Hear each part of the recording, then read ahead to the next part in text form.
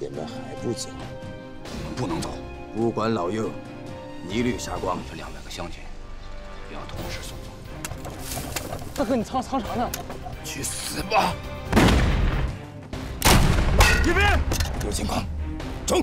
狐狸，趴下！他们被东岛拦截了，追！张玉，我能问问你丈夫到底是谁吗？代号穿山甲。穿山甲。你就真舍得放孙鹏走？当然舍不得了，但我也没办法。你现在是越来越谨慎。司令员，我不敢不谨慎呐。现在对地环境是越来越残酷。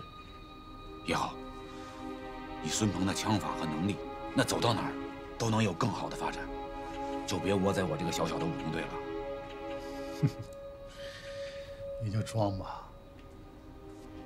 你这心里在滴血是不是？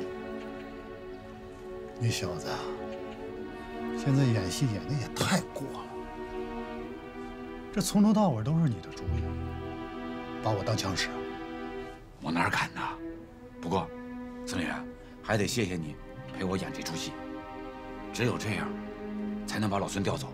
我太了解他了，他早晚都会明白怎么回事。我看到时候你怎么面对。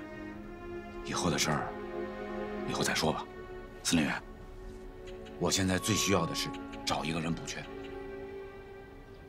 找一个人补缺啊？哎，我真想起来一个。好啊，司令员，你别又耍我吧。他要不要？哎，别呀，司令员，您说的这个人，以前是干啥的？有啥特长？这个同志吧，成天白刀子进去，红刀子出来的主。政治上绝对可靠，行动上敢拼敢杀，风风火火的好同志。条件不错，枪法怎么样？这个枪法呀，怎么跟你说呢？在我们部队上极其少见，至少啊，我没见过。太好了。可是啊，这个同志有个缺点，就是他组织纪律性啊，还有待于培养。你看行不行？行啊，太老实的我还不要呢。我们武工队就需要这个调调的啊。好，那就这么定了。过两天我派人送到大车店，正式向你报道。好，一言为定。谢谢司令员，那我就等你好消息了。好，你先回吧。是。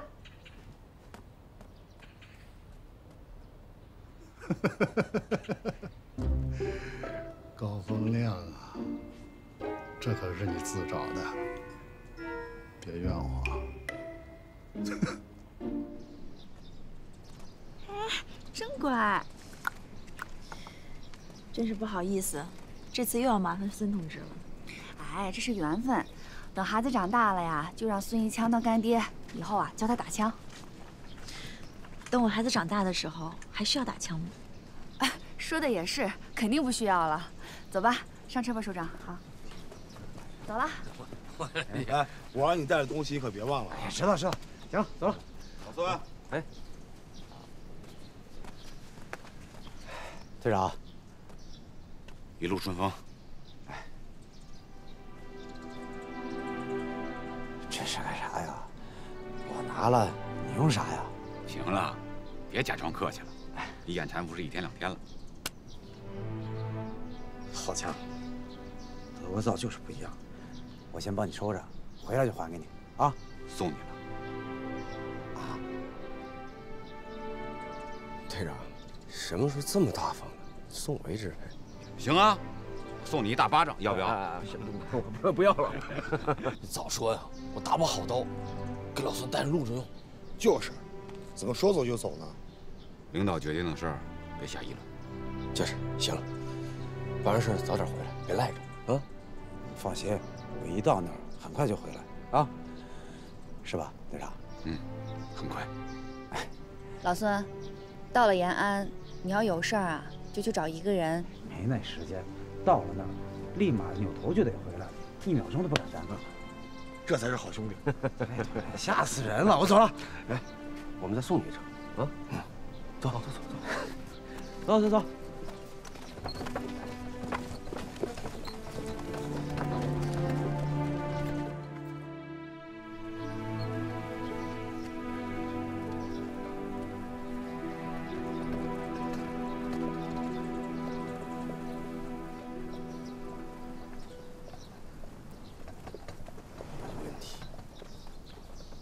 有啥问题？你又看出啥问题了？咱武工队从来都是一个整体，什么时候派一个人走这么远？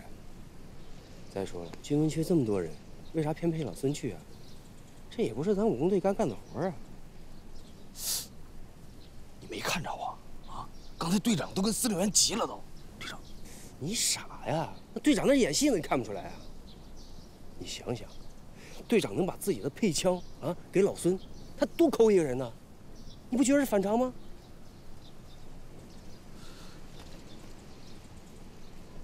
反常吗？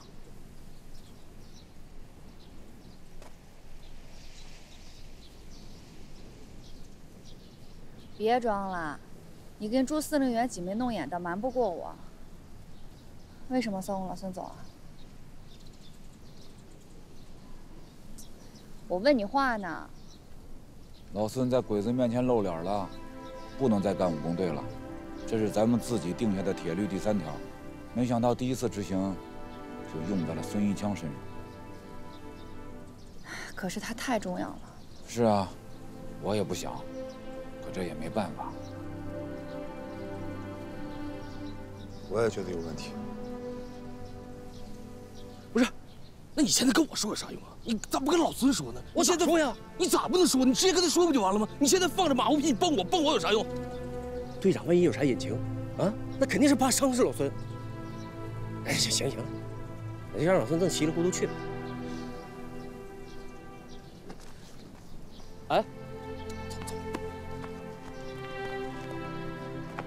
队长，老孙这事儿有问题。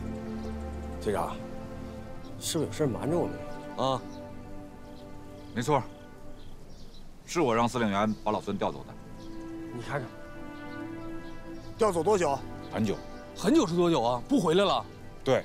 啊，不回来了？为啥？老孙哪做错了？队长，你可说咱武工队可都是亲兄弟啊！你这样你啥意思？你不拿老孙当兄弟啊？你这不骗人吗？队长，这回你真欠考虑了。太欠考虑了，队长。欠考虑。老孙要知道得多伤心啊！行行行，别别问了，赶紧把老老孙追追回来。啊，再不追就晚了。站住！全体集合。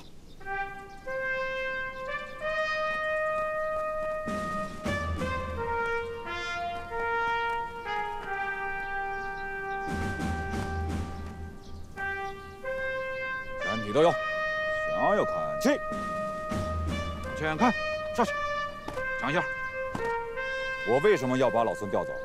是因为坂本四郎见过他，现在很有可能已经猜出了他的身份，身份暴露，退出武工队，这是咱们自己定下来的纪律。现在可能满大街的汉奸特务都拿着老孙的画像在找他，如果他继续留在武工队，不但随时自己有危险，还会连累整个队伍。这么处理，也是给我们大家一个活生生的教训。行动不露脸，这是铁与血的纪律。队长，那就不能让老孙在军分区先避避风头吗？你还不了解老孙吗？避风头，他会同意吗？那我要是露脸了，啊，以后也送走啊？没错，不论是谁，暴露身份就得走。队长，要是你露脸了呢？那我就不配当你们的队长。我走。我跟你是来打鬼子的。咱们这队伍要是说散就散的话，那还有啥意思？那我就回回去打铁多好啊！队长，你要这么说话，太伤大家伙的心了。好，你要是觉得伤心，你要是觉得没意思，你们现在就可以走。我高风亮宁可要活着的同志，不要死去了的兄弟。还有，你们要记住，你们不是跟我高风亮打鬼子，是跟着武工队，到什么时候都是武工队最大。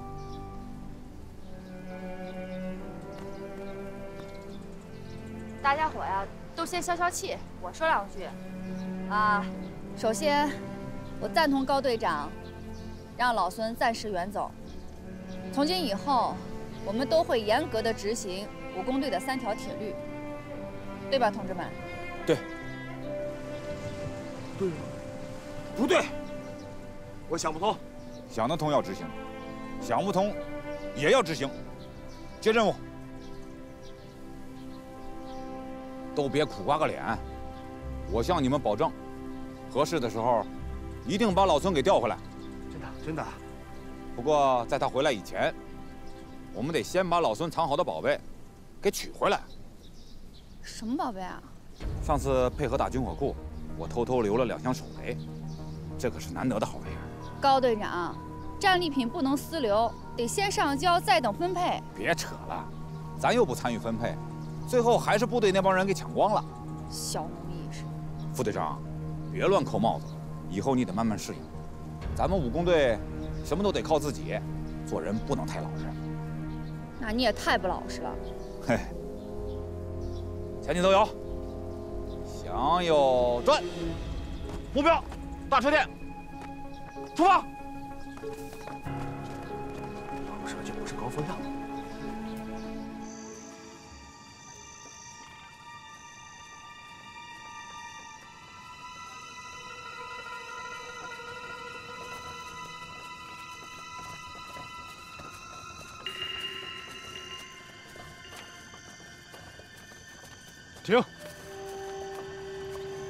露营，小张、小王领进。是。为什么不继续赶路了？差不多了，该休息得休息。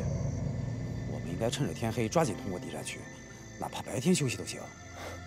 哪来的敌占区啊？我们这次行动以安全为主，所以宁愿绕远路，走的都是自己的地盘。放心吧，睡一觉，明天早点出发。哎，我有个问题。说。既然都是自己的地盘，那为什么要我参与护送？我们也是临时接到通知才知道有你，执行命令就行了，别想那些没用的。有用！既然不需要我了，那我就回武工队去。说不定会另有重用，也可能留在延安呢。我哪儿也不去，我只回武工队，那里有我的生死弟兄。黑狼谷，什什么？黑狼谷是这次唯一需要通过敌人防区的险要关口，过了那里，才真的都是自己的地盘了。你的意思是，过了黑狼谷，我就可以回去了？除非你不想走。谢谢连长。不用谢，我也有生死弟兄，我懂。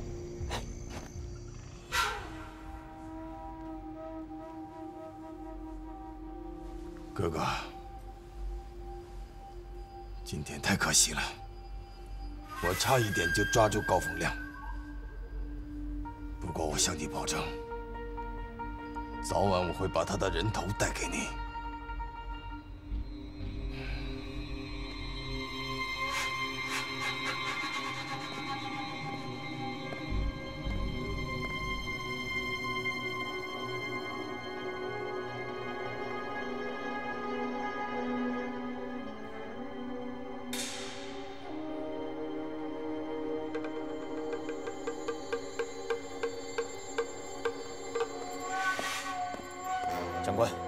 枪的情况查清楚了，他平时伪装的职业是拉黄包车的，活动范围完全没有规律，可以说行踪不定。他给哪家车行干？有什么朋友？他是单干，上面没有老板，而且他从来不跟人接触，连街坊邻居都没人跟他说过话。作为一个狙击手，最重要的事情就是熟悉环境，伪装成拉车的到处侦查，确实。再适合不过了。原来如此，他家住东大街南口巷五十五号，是个独立的院子。我怀疑是武工队的据点，所以暗中已经将他包围。不要傻了，他家不可能是武工队据点。你回家没有？没有，街上也没有人看见他。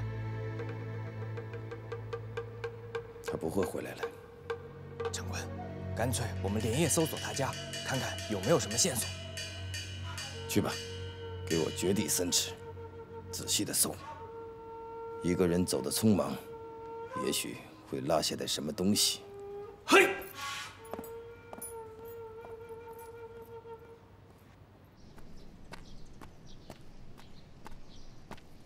赵勇，安米，你咋来了？你看，昨天的事我没忘，这货一多就给耽误了。啊，昨天什么事儿啊？你别生气，你跟你娘说说，改天我登门拜访。改天是哪天？今天晚上？明天？还是后天？就是改天呗。我妈的脾气你知道，你到底想不想跟我好了？想，我做梦都想。那好，放下活计，现在跟我走。哎，我这有急事儿。你有啥急事？不就扛包吗？哎，叫我是吧？赵勇，你今天不跟我走就拉倒了。馒头真香。阿敏姑娘，王掌柜，还有咋了？这是？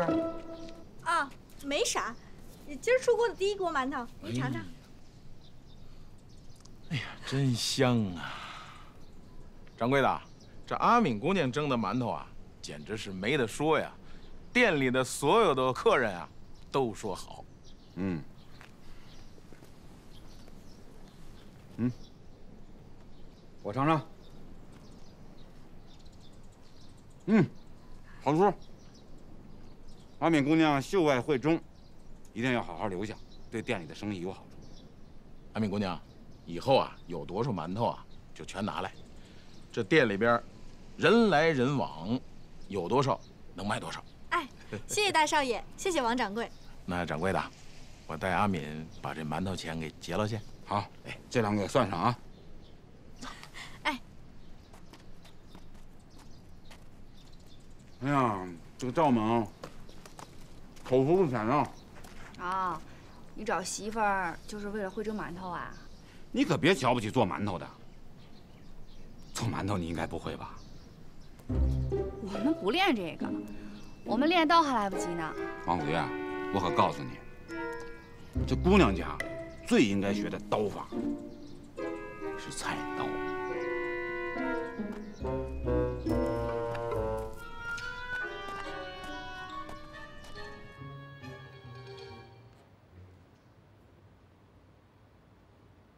每天认十遍针，练眼力磨性，好好练啊！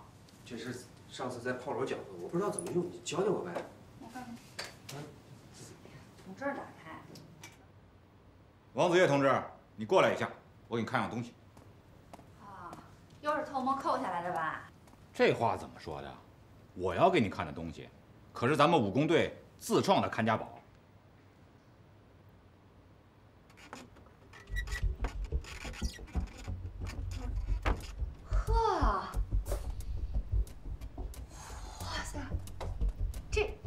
队长，这是我见过的最实用、最详细、最漂亮的作战图了。这可不是一日之功啊！哎，谁干的这是？老孙，孙一枪。他每天在路上拉着车跑，然后把路线记下来，抽空回来画，画了整整两年。现在咱们武工队在定西的任何一次行动，在地图上都能演练。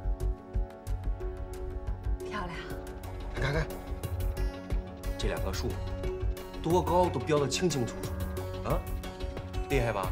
交战的时候这些信息都有用。这老孙真是个有心人。那是。来，你看这儿，这是老孙的落脚点，两箱手雷就在院子里。怎么把它弄出来？你有什么看法？这能确定鬼子知道老孙家？别小看坂本四郎，毕竟老孙在这儿待这么久了，查出来不难。好，那么现在就要确定这小鬼子是不是已经发现手雷了。如果确定发现了，那就没必要琢磨了。只要院子还在，就证明鬼子没有发现。为什么？副队长，我告诉你，老孙埋东西啊，那是有机关的，不知道的人一碰就炸。嘿嘿，走，我跟你去把手雷拿回来吧。不行，我先摸摸情况，要弄清楚这鬼子的部署，咱们才能行动。我同意。王子卫同志，这回咱们的思路一致了。你以为只有你自己聪明啊？队长这人啊，什么都好，就是有点自大。你怎么说话呢？哎，狐狸，你跟我出去一趟，咱们俩去侦查侦查情况。好，慢着。为什么是他呀？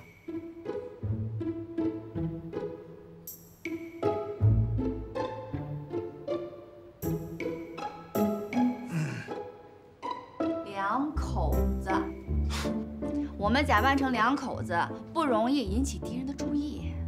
两口子，保证完事哈。德行。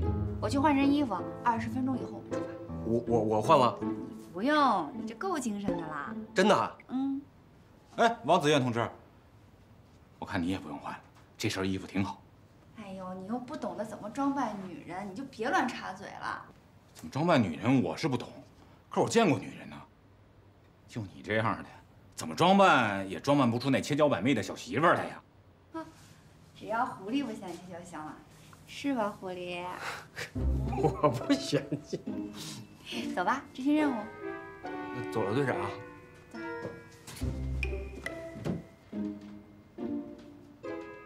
嘿。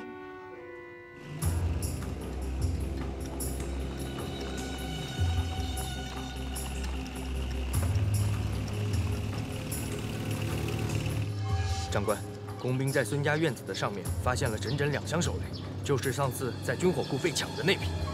拿出来没有？还没有，似乎还有点危险。工兵正在处理，告诉他们立即停止。为什么？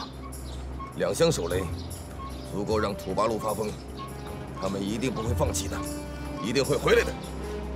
明白了。哎，副队长呢？你这头发怎么了？没有啊，擦了点油。怎么样？精神多了吧？啊？嗯，神经多了。你这个脑袋怎么跟牛犊子舔的似的？我闻闻。哎呦，这什么味儿？这个招招招苍蝇了！这去去，上一边。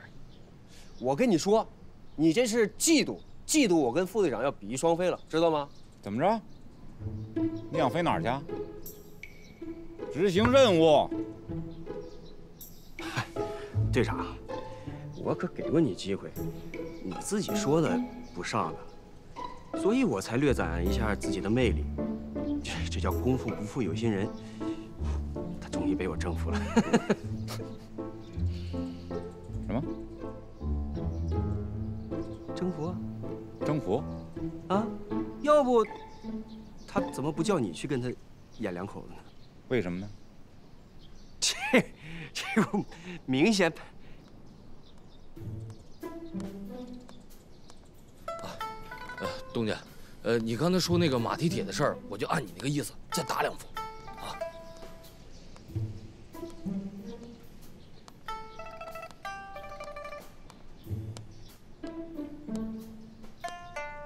姑娘，您走错地方了吧？我们这内院不接待外客。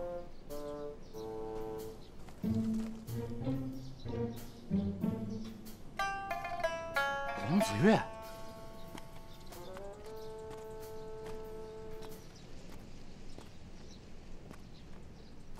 你怎么穿的跟《聊斋》似的？副队长，你那衣服，你这这这都开到这儿了，都赶紧缝上吧，快点！你你懂什么呀你？人家这是旗袍，就得开叉。哎呀，副队长太美！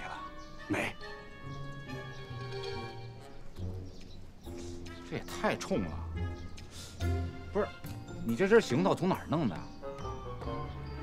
狐狸的公开身份是江湖上有名的大混混，好歹也算是有头有脸的人。他带出去的女人，就应该是像我这样的。那是。味道熏一跟头。行，走吧。你倒是看看，我像不像那千娇百媚的？算。这比狐狸还千娇百媚呢。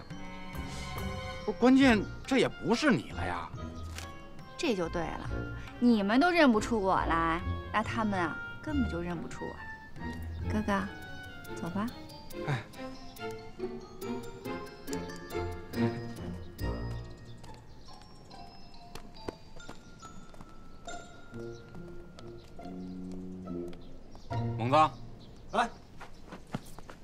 队长，跟我走一趟，暗中保护。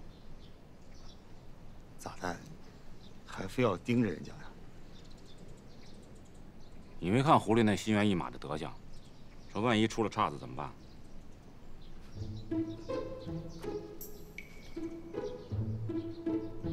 什么意思啊？阿敏在店里等着你呢，要不你找她去？阿敏的事儿可以放一放，可以放一放。我真是为了任务。我知道任务。想什么呢？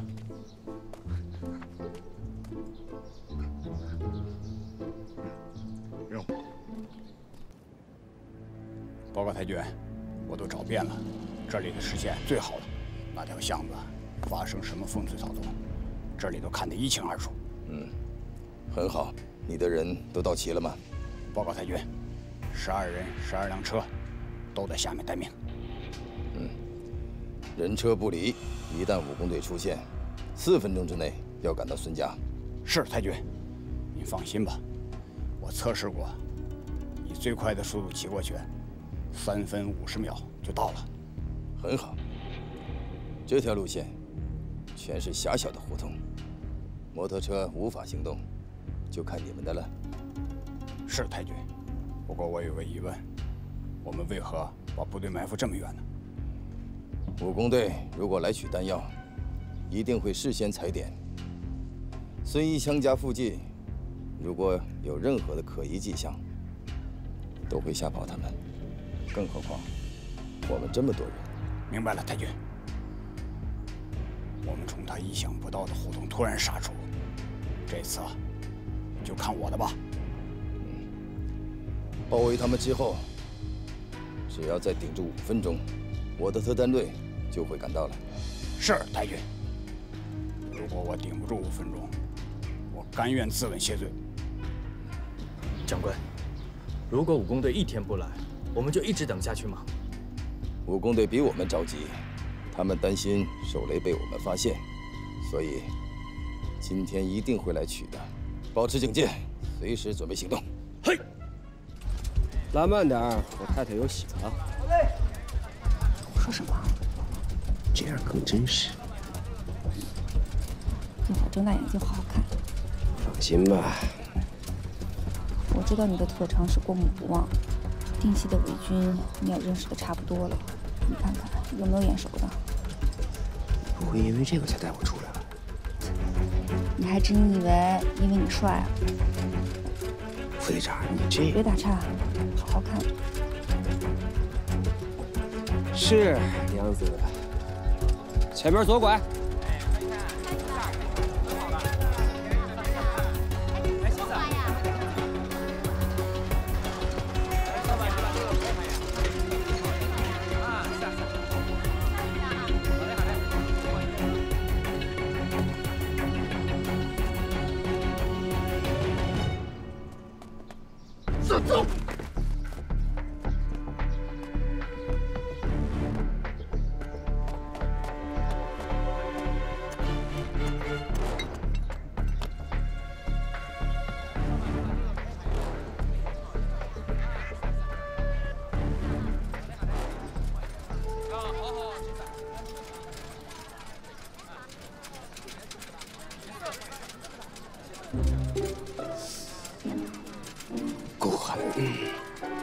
你老老实实执行任务就行。小两口拉小手能真实啊？不需要。这个骚狐狸还拉上手了，欠修理。往哪看呢，队长？咱是来侦察敌情的，不是来盯着人家小两口的。少废话！你那边有没有什么发现？没有什么可疑人物。奇怪了，难道鬼子没有发现老孙家？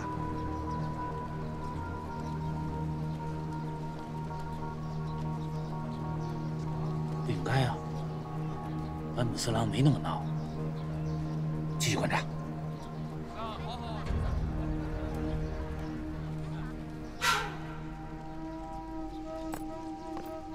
长官，你休息会儿吧，有情况我会向你报告的。你是不是觉得有点浪费时间？的确有点，白白等了那么久，一点动静都没有。钓过鱼吗？在鱼上钩之前，所有的时间都是在无谓的等待。一旦鱼上钩，一切都值了。长官，我明白了。更何况，我们钓的不是一般的鱼，他们会自己寻找和识别鱼钩，我们一定要隐藏好。长官，我还有一个担心，我们藏这么远，如果鱼咬钩了，我们没有发现，他们就溜了。我有双重保险，只要他们咬钩，就一定会有动静。如果运气好的话，甚至我们都不用动手了。什么保险？到时候你就知道了。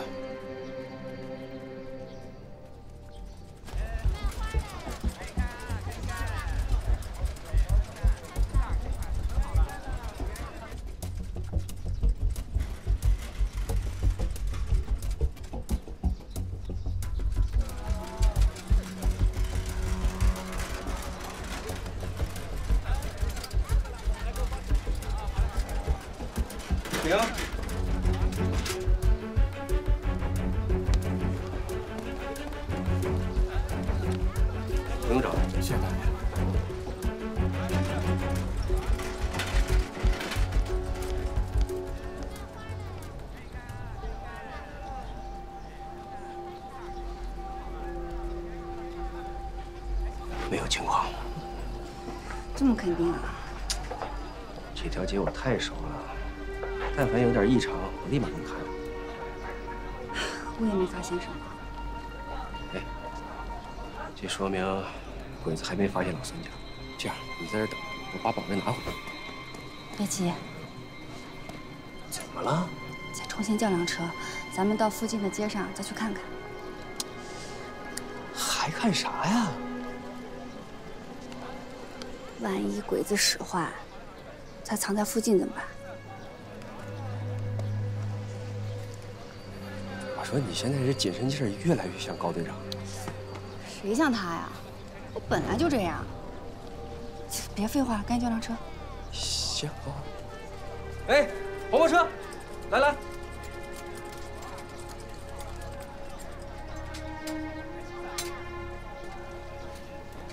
右转。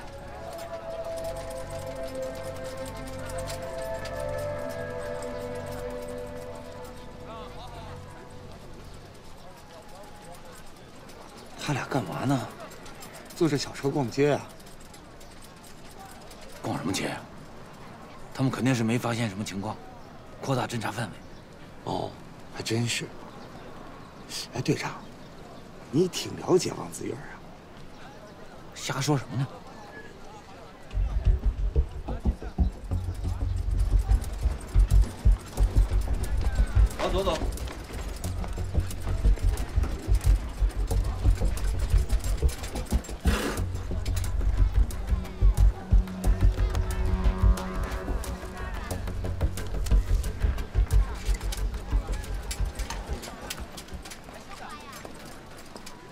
这回该放心了吧？方圆几条街都转过了，鬼子跟汉奸的影都没有。不，你再去叫辆黄包车，在这等着，我去。你去？我这个大老爷们在这，哪能让你女儿去呢？服从命令。不是，关键老孙白东西的机关你不知道。不客气的说，还没有什么机关难得到我。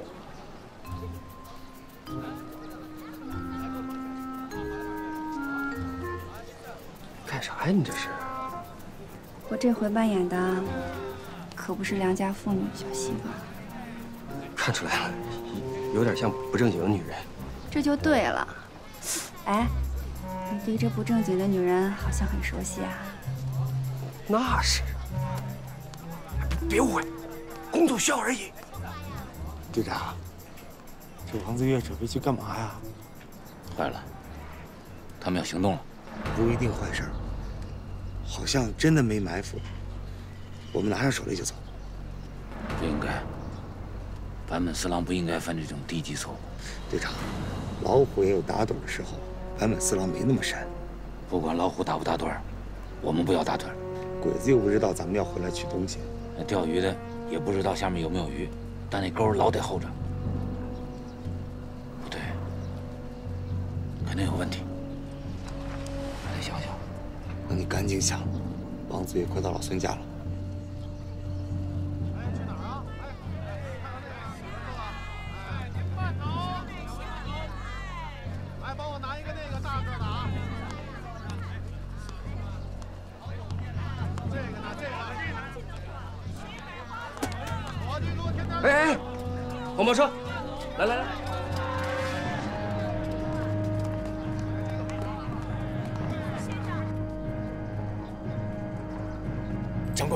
女人在往孙一枪家里走。准备行动。是。二孬，准备行动。今天版本太君亲自坐镇，谁都不准掉下子。是。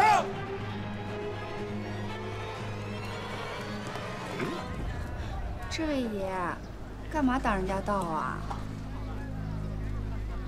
小姐，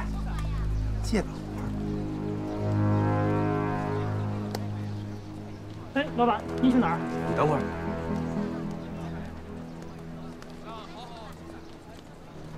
兄弟，来来来，我给你商量个事儿。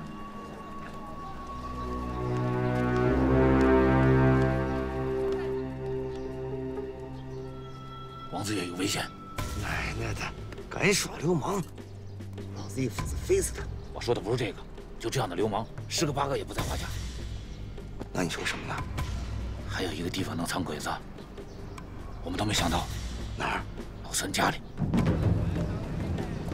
哎呦这位爷，我真没火，我还想找你借烟呢。借什么？哥给你。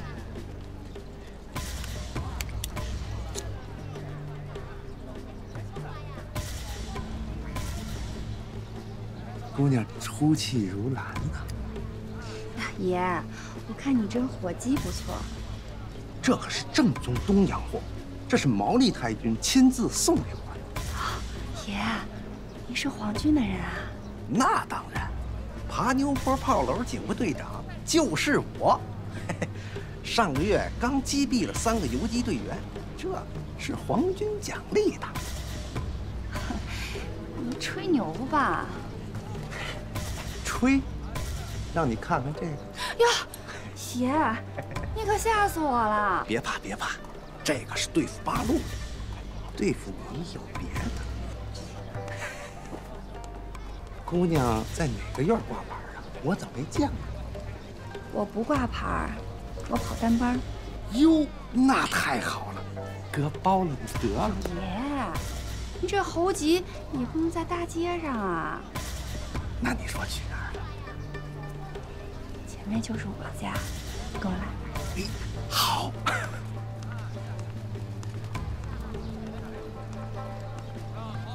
这就是我家，我没骗你吧？姐姐住的地方倒是不偏僻。我一个女人家，住的太偏僻了，怕是不安全。没事儿，以后有哥哥我陪你，咱们谁都不用怕。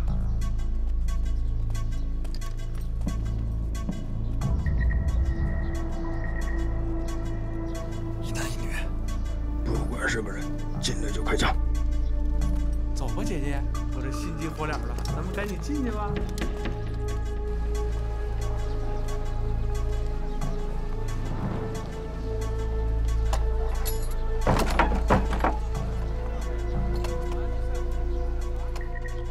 长官，快看！